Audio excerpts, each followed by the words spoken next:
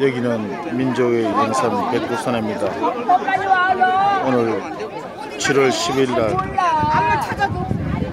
중국 서쪽 서파 쪽에서 올라왔는데 너무나 아름답고 날씨는 쾌청합니다. 장엄한 천지의 모습을 볼수 있어서 정말 다행이고 정말 영원히 잊을 수 없을 것 같습니다.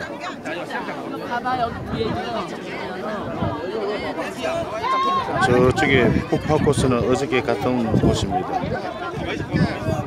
어제와 오늘 두 번 연속해서 백두산 천지를 볼 수 있는 기회를 얻었습니다. 천지 신명님 감사합니다.